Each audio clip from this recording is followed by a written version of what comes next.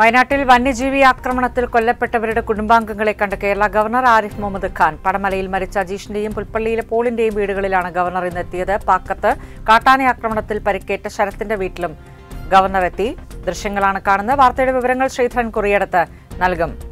Sreedharan governor ഇന്ന് വയനാട്ടിലുണ്ട്. ഒന്ന് ഈ കൊല്ലപ്പെട്ടവരുടെ വീടുകളുടെ സന്ദർശനമാണ്. ഒപ്പം മാനന്തവാടി ബിഷപ്പുമായിട്ടുള്ള ഒരു കൂടിക്കാഴ്ചയും ഇന്നുണ്ട്.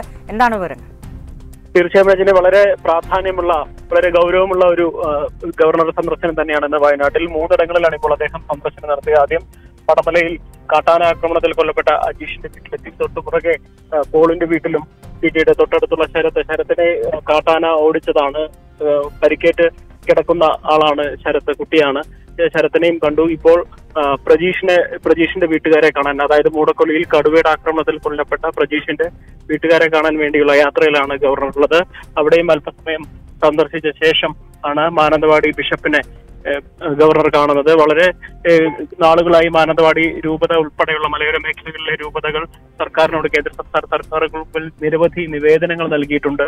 ഈ വന്യജീവി ആക്രമണം തടയാൻ ഫലപ്രദമായ നടപടി ആവശ്യപ്പെട്ടു. എന്നാൽ കാര്യമായ ഒരു നടപടിയും ഉണ്ടായിട്ടില്ലെന്ന് തന്നെയാണ് അവർ ഉന്നയിക്കുന്ന വലിയ വിമർശനവും. നഷ്ടപരിഹാരം സംബന്ധിച്ച് പോലും കഴിഞ്ഞ ദിവസം ബിഷപ്പ് വിമർശനം ഉന്നയിച്ചിരുന്നു. ഈ ഒരു സാഹചര്യത്തിൽ ഗവർണറുടെ സന്ദർശനം അതീവ പ്രാധാന്യമുള്ളതാണ്. രാവിലെ വനംവകുപ്പ് ഐ ബിയിൽ നിന്ന് ഇറങ്ങുമ്പോൾ തന്നെ വനംവകുപ്പ് ഉദ്യോഗസ്ഥരുമായി അദ്ദേഹം അനൗപചാരികമായ ഒരു കൂടിക്കാഴ്ച നടത്തിയിരുന്നു. അതിനുശേഷമാണ് ഇനിയിപ്പോൾ ബിഷപ്പിനെ ഇവിടുത്തെ പ്രജീഷിന്റെ വീട്ടുകാരെ കണ്ട ശേഷം ഇനി ബിഷപ്പിനെ കാണാൻ പോവുക. ഏതാണ്ട് അരമണിക്കൂറോളം നേരം ബിഷപ്പുമായി അദ്ദേഹം ചർച്ച നടത്തും.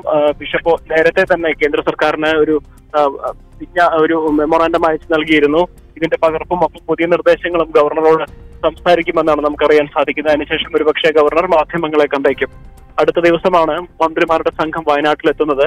ഇതിനു മുന്നേ തന്നെ ഗവർണർ ഇവിടെ എത്തുന്നത് വലിയ രീതിയിൽ രാഷ്ട്രീയമായി തന്നെ ചർച്ചയാവുന്നുണ്ട്. കഴിഞ്ഞ ദിവസം രാഹുൽ ഗാന്ധി വന്നതും തൊട്ടുപുറകെ ഗവർണർ എത്തിയതും അതിനുശേഷം മാത്രമേ സർക്കാർ ഇങ്ങോട്ടേക്ക് എത്തുന്നുള്ളൂ എന്നുള്ളതും വലിയ തോതിൽ വയനാട്ടിൽ നിന്ന് വിമർശനം ഉയരുന്ന സാഹചര്യത്തിൽ കൂടിയാണ് ഗവർണർ ഇന്നിപ്പോൾ സന്ദർശനം നടത്തുന്നത്. രജനി.